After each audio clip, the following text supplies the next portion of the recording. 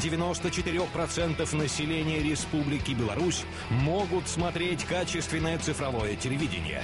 В 2015 году Беларусь полностью перейдет на цифровое вещание.